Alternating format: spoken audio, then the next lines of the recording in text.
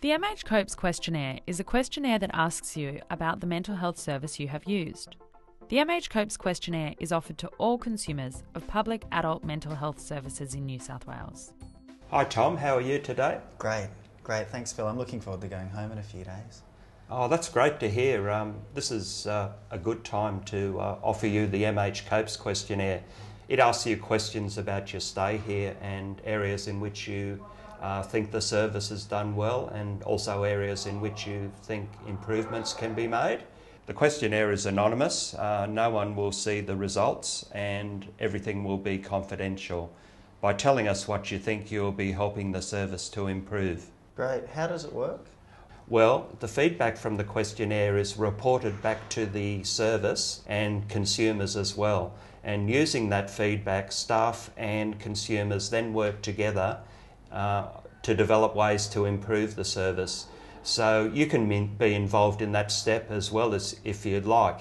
New South Wales Health also gets the feedback and works with consumers to make uh, some major improvements. Uh, would you like to fill out the questionnaire? Yeah, I'd be happy to fill one out. Just take your time doing it. If, if you'd like help, I'll be around. And also, um, if you want another staff member or a family member to help you with the, um, with the questionnaire, that's great. And uh, it's okay to uh, skip questions if you want to. Great, thanks, Phil. Yeah. And when you're finished with the survey, um, just, just put it in the envelope and put it in the MH COPES box. The MH COPES questionnaire allows you to give an opinion or provide feedback about your experience of the service you have just used. By filling out an MH COPES questionnaire, you get to have a say about the things you have liked at a service and the things you think could be done better. The answers that you provide in a questionnaire are anonymous, and the questionnaires are also voluntary. Although you are offered a questionnaire, it is your choice whether or not you fill it out.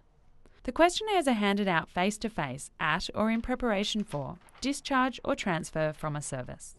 At long term services, they may also be handed out at other times.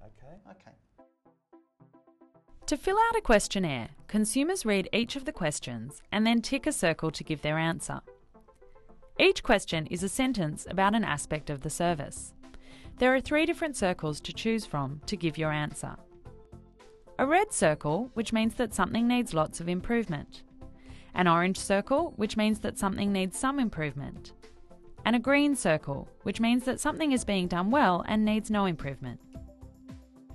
So, for example, one of the questions asks you about the opportunities you had to have a say in your own care.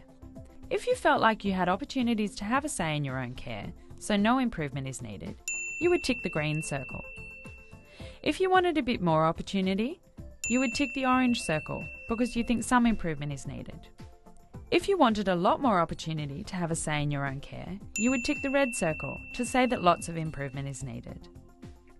On the back page of the questionnaire, there are three questions that don't have circle answers, but instead leave space for you to add your own comments. In these written answer questions, you can write whatever answers or comments you feel like mentioning.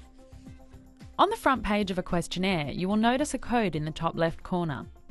This code shows which service the questionnaire was handed out in, as the questionnaires are available all across the state.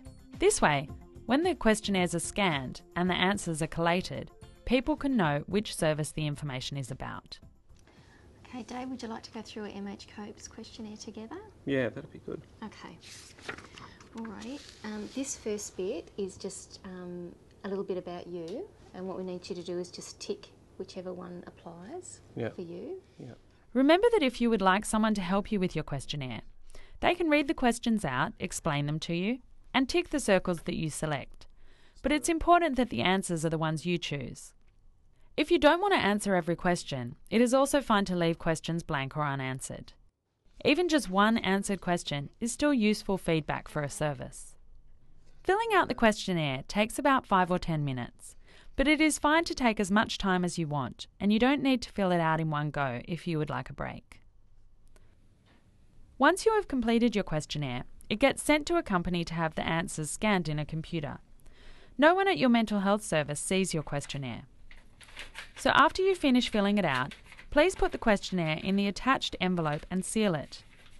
You can then either put it in the return box if your service has one, or you can post it at an Australia Post box.